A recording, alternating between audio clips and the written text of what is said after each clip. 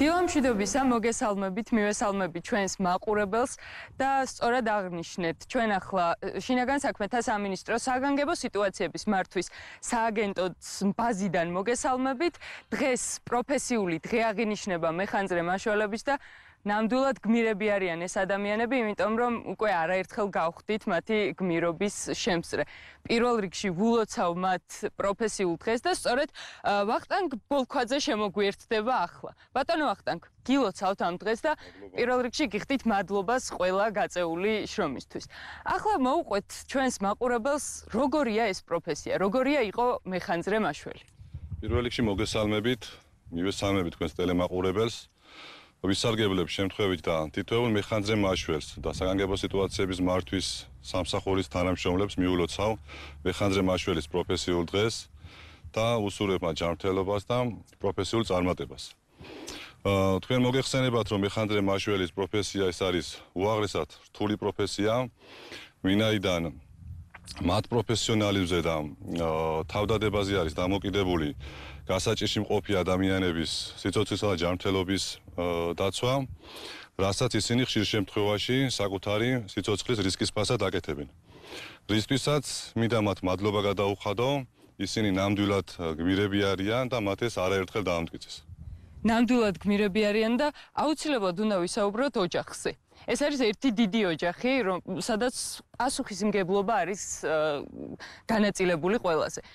როგორ იმზადებიან ეს ადამიანები ასეთი საპასუხისმგებლო პროფესიისთვის? რა მომზადებას გადიან? რა თქმა უნდა, თქვენ სწორედ აღნიშნეთ, რომ ეს არის ერთი დიდი ოჯახი. რაც შეეხება მათ მომზადებას, საგანგებო სიტუაციების მართვის სამსახურის ერთ-ერთი პრიორიტეტული მიმართულება არის მეხანძრე მაშველების გადამზადება. ჩვენ ახლა ვიმყოფებით სასწავლო ცენტრის ტერიტორიაზე, სადაც მეხანძრე მაშველებს უტარდებათ ინტენსიური როგორც თეორიული, ასევე პრაქტიკული სწავლებები. გარდა ამისა, მინდა გითხრათ, რომ საგანგებო სიტუაციების მართვის სამსახური ძალიან მჭიდრო თანამშრომლობს სხვა სხვა საერთაშორისო ორგანიზაციებთან, რომლის ფარგლებშიც მეხანძრე მაშველები, ისევე როგორც სხვა თანამშრომლები საგანგებო სიტუაციების მართვის სამსახურისა გავდივართ შესაბამის გადამზადებას, რაც გვეხმარება ჩვენ შემდგომში ჩვენი ყოველდღიური საქმიანობის განხორციელებაში. ბატონო ახტანგ, ახლა უშუალოდ თქვენს მიმართულებაზე უნდა ვისაუბროთ. რას გარდა მისიებისა, რა შემეცნებით აქტივობებს ატარებთ ხოლმე? მინდა გითხრათ, რომ საგანგებო სიტუაციების მართვის სამსახურის ერთ-ერთი პრიორიტეტული მიმართულებაა გარდა სახანძრო სამაშველო მიმართულებისა, ქვეყანაში სამოქალაქო უსაფრთხოების ცნობიერების დონის ამაღლება, რომელიც მნიშვნელოვანი არის საგანგებო სიტუაციების რისკის შემცირებისა და მართვის პროცესისთვის.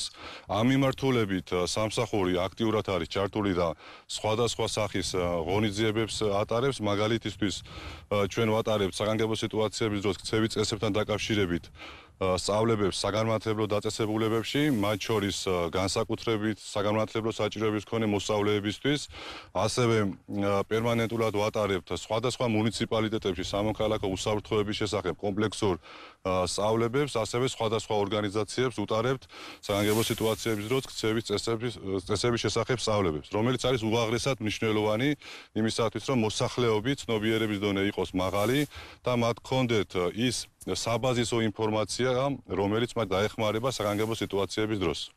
ძალიან დიდი მადლობა ბატონო ახტანგ. კიდევ ერთხელ გილოცავთ პროფესიულ დღეს. მე კი ჩვენს მაყურებელს შევახსენებ, რომ 12 ივნისი არის მეხანძრე მაშველების პროფესიული დღე და ნამდვილად თითოეული მათგანი გმირია, რადგან არაერთხელ მათ იხსნეს ჩვენი საზოგადოების ნებისმიერი წევრის სიცოცხლე. მე გემშვიდობებით და ბედნიერ დღეს გისურვებთ.